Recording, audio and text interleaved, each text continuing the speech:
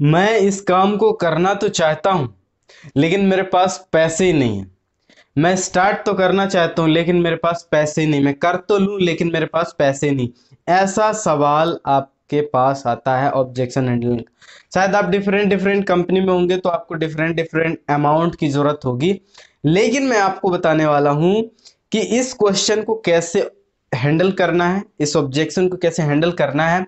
और बताने वाला हूँ कि इसका सोल्यूशन क्या है। तो मेरा नाम अजीत चक्रवर्ती है, बने रही स्टेशन के अंत तक। आज इसके बारे में खुलासा करने वाले तो सबसे पहले आपको क्या करना है एप थ्री फॉर्मूले का इस्तेमाल करना है फील फेल फाउंड का इस्तेमाल करना है। सबसे पहले आपको बोलना है, बिल्कुल आप सही कह रहे हैं।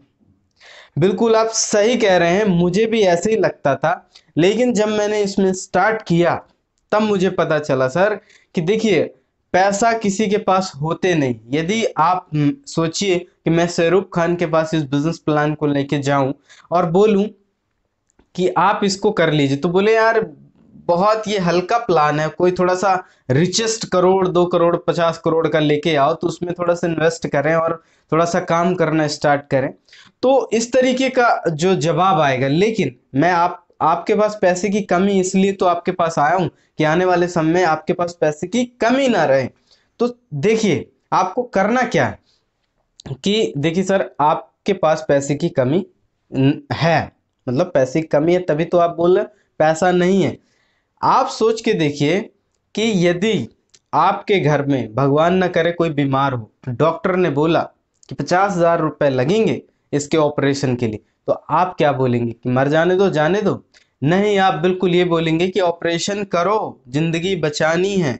तो आप कहीं ना कहीं से पैसे का अरेंजमेंट करेंगे तो आप वहाँ पर देख लीजिए, आप कर कर लिए पैसे का अरेंजमेंट तो इसी तरीके, जिस तरीके से ज़िंदगी को बचाने के लिए आपने पैसे का अरेंजमेंट किया, उसी तरीके से जब ज़िंदगी को बनाने के लिए, क्या हम पैसे का अरेंजमेंट नहीं कर सकते? और इसमें लग कितना रहा है, सर?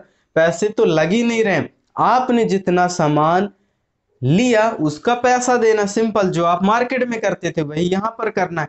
तो आपने जितना सामान लिया, उतना पैसा दीजिए। Business start. और आपने किसी को इसके बारे में शेयर करना है तो आप उनसे पैसे, जो खरीदेंगे वो लोग, आप उनसे पैसे ले सकते हैं। ये, भाई, वो तो नियम ही है। आपने कुछ खरीदा, उसके पैसे तो दे नहीं है। तो आप एक बार मैनेज करिए सर पैसे और आप एक ऐसा धंधा चालू कर सकते हैं जिसमें आपको बिना पूंजी का व्यापार ये खड़ा कर सकते हैं। ये इतनी बड़ी पावर रखता है। तो पैसा किसी के पास होता नहीं है सर, पैसे का अरेंजमेंट करना पड़ता है। आप भी अरेंज करिए और लाइफ में आगे बढ़ने के लिए प्रोसेस अपनाइए।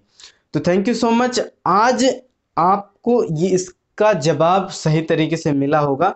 और जवाब सही तरीके से मिला है तो कमेंट में मुझे बताइए कि और आपके क्या सवाल हो सकते हैं और लिख के बताइए कि अगला वीडियो कौन सा बनाया जाए। तो थैंक यू सो मच आज के लिए इतना ही। मिलते हैं अगले सेशन में। आपका बहुत बहुत धन्यवाद। Thank you so much